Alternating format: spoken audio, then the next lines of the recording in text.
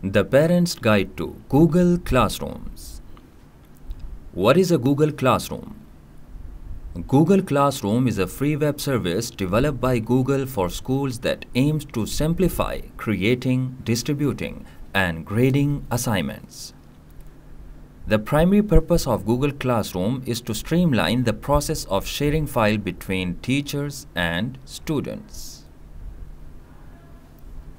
Getting started. Step 1. Click on the Google Chrome or Mozilla Firefox browser icon on your desktop. Getting started with Gmail. Step 2. Write your email address and password. Getting started with the classroom. Step 3. Click on the Google App tab. Step 4. Click on the Classroom tab. Step 5. Click on the plus sign. Click on Continue. Step 6. Joining a classroom. Step 6. Click on Continue. Write the code provided by the teacher. Click on Join. Joining a classroom. Step 7. You will see this window after getting in.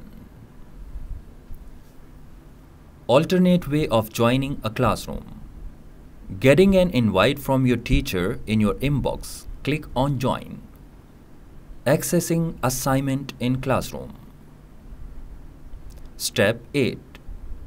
Clicking on Stream will show your announcement in your classroom by your teacher. Step 9. Clicking on Stream will show your announcements in your classroom by your teacher.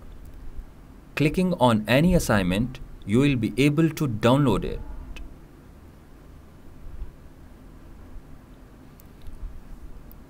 Step 10.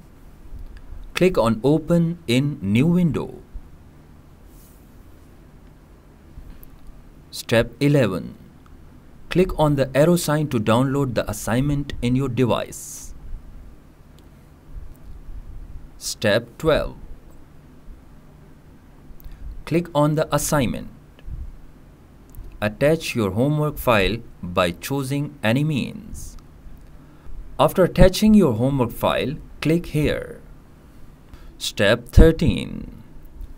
People tab will enable to look your classmates and teachers. Step 14. You can also add a comments to your assignments or on Stream tab. Jazakallah khair.